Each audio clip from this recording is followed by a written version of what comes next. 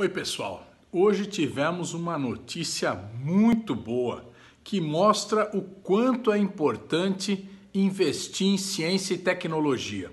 O Instituto Butantan desenvolveu uma vacina totalmente nacional. E isso nos garante a independência em termos de produção dessa vacina. Ou seja, a gente não vai depender de insumos da China ou da Índia ou de qualquer outro país. O desenvolvimento dessa vacina mostra que, ao contrário do que faz o governo, a gente tem que fazer cada vez mais investimentos em ciência e tecnologia. Não podemos deixar o Brasil voltar para trás nessa área.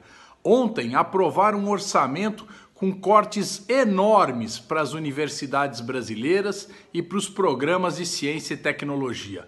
Nós votamos contra e vamos sempre defender o desenvolvimento nacional e o apoio aos cientistas e professores brasileiros.